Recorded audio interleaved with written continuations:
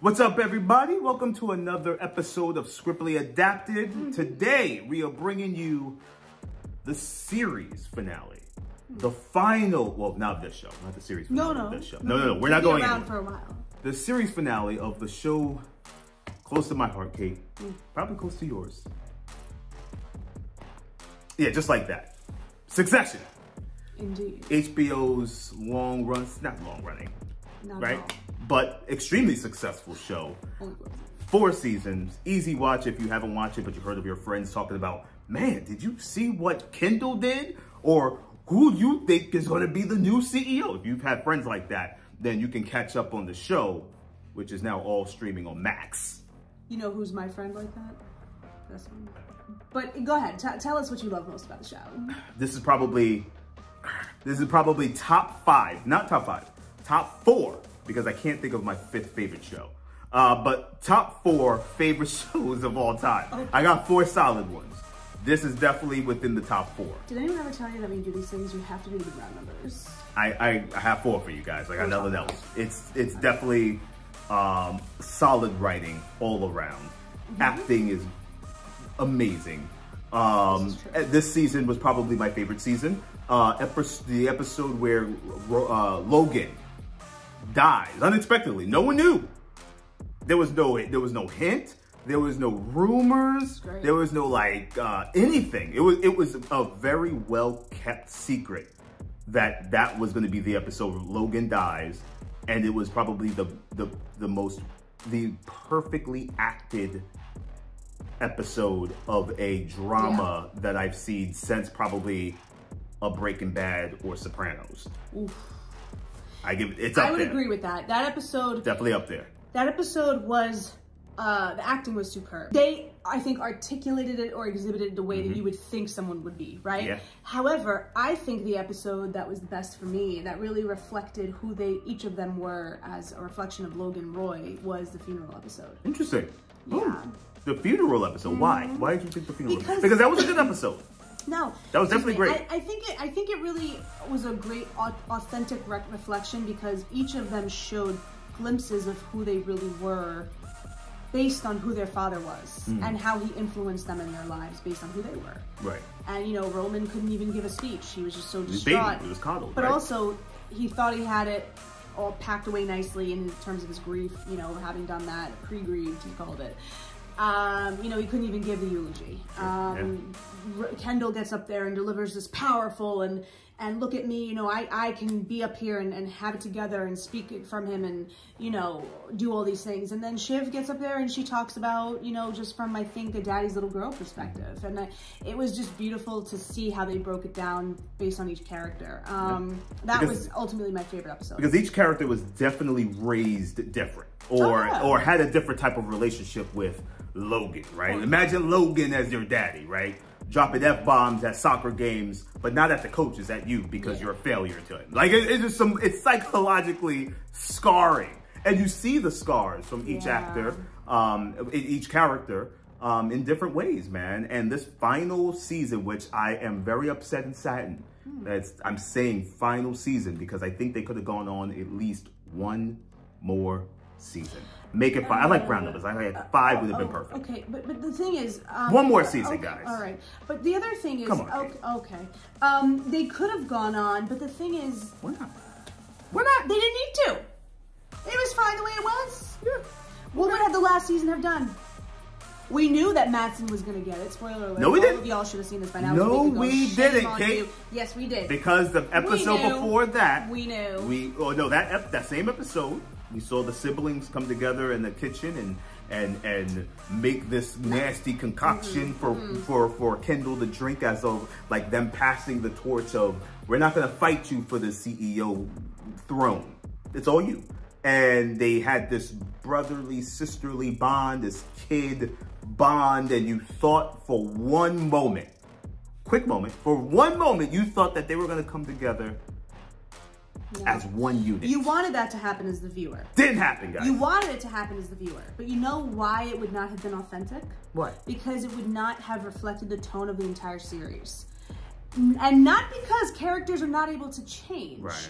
but because the patriarch of and the antagonist really, because that's who Logan Roy was. Mm-hmm. He wasn't really a protagonist; he was an antagonist. He set the tone for the entire series of how he raised his children. And so it did not feel natural. It would not have felt natural. And it's a sad thing to say, really, because you want to see characters come together. You do. You want to see them evolve. But if you compare this family, oh, this is going to be good. This is going to be, are you ready for this?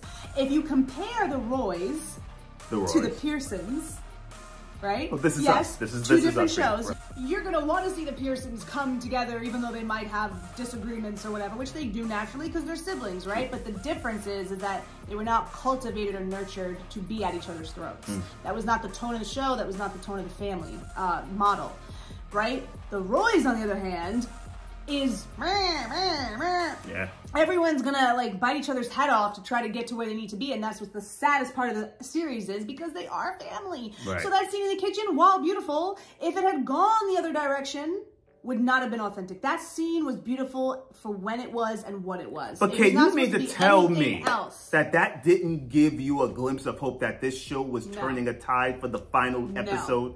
It and definitely did that for me. And you know what? It gave me a sense of satisfaction. I got tricked. This is going to be crazy, okay? Don't send me hate mail. I got played. But, but it gave me satisfaction when Shiv actually went the opposite direction and was like, I don't know. I don't know if I can do this. I don't know. I actually was strangely satisfied that she did that because I expected that from her. I do not, Shiv was not a warm character. No. I didn't expect her to be all warm and whatever, like with Kendall and Roman. I mean, but why? Because she was also pregnant, Kate. You got to take into account that the, Please. listen, these writers Please. are also thinking that. These, these are, they are creating you characters. You know why the pregnancy was beautiful on the show? And I'll tell you why. It wasn't to change Shiv.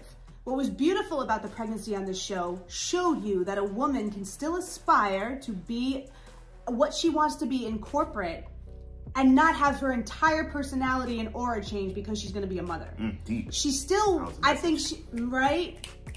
Message. Message. Oh, okay. Message. Wow. So that, that is why the pregnancy was written in. It wasn't written in because she was going to change. No. But the pregnancy do you to have me to sound it like you're speaking through a megaphone. The the yes, I do. That that's that's key. That's I'm gonna make sure that people hear me.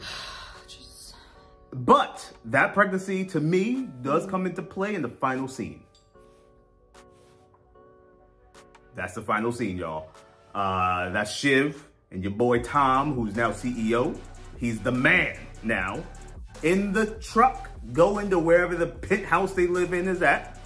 And that scene, to me, spoke a lot of words. It spoke that, more about him it, it spoke to me that it spoke to me about both. No, if you looked at his body language, and you brought this up. Uh, yes, his body language. You looked at his had body a little language, swag, had a little confidence. Tom was the most evolved character in this entire series. My favorite character in the show, by the way. Me too. Yep. But Tom also was super like, and that's why they wrote it like that because it was completely the antithesis of what you thought it was going to be because mm. Tom throughout the entire series was kind of brown noser. He always wanted to get on top, but he was always looking for Logan's approval. But in that moment, at the very end, at the pinnacle of this series, his whole aura just changed and it was off it was real he was the man and it was genuine and it was like oh snap like he he's got the big office in the corner he's it yeah. this is it i mean there's no one else the and roys so, are gone yeah. they are no longer in power mm-hmm. the roys are gone and it just so happens to be a man who is an outsider uh, outsider, Shiv's yeah. husband, exactly. so to speak, yeah. that now takes the throne and now leads this corporation. Even if he's a puppet or whatever, Tom's so happy because he, now he is the voice. I don't think he was going to allow himself to be that puppet though.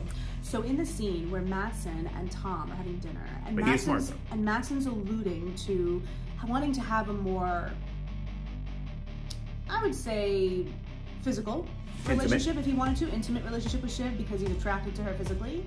Um, and kind of dangling that carrot in front of Tom. It was almost like Tom sold Shiv out to get what he needed. And it's almost like Shiv now is going to be a pawn in Tom's game. And I think she's going to be used by Tom so Tom can climb the ranks and do what he needs to do. So you're not saying that Tom potentially is going to pimp out Shiv? Not literally, but it, professionally. Professionally, he's going to pimp out but Also, but also, I mean, are you mad about it? I no. Don't, look, I'm because Tom deserves sorry, it. But Tom deserves it. Tom ducked bobbed and weaved, do the jab, and now your boy is now. You know was my favorite scene? Now he's now he's now the man. You know what my favorite scene was? My favorite scene in the entire four years, Robin in the entire four years or seasons of the show was the funeral episode where Tom was. It was very interesting, and I said this to you. Tom did not show up to the entire funeral until they had the uh, get together, whatever, Hmm. at the house, and he's so exhausted Mm-hmm. By from running ATN and doing all those things that he starts to cry. But, it's not crying because he's tired. It's what it is. But it's crying because he's trying to prove to Shiv, like, I'm sorry I wasn't here, but you know what? I was with Logan in his final moments. Right. I've already He said was- my he goodbyes. Logan, yeah.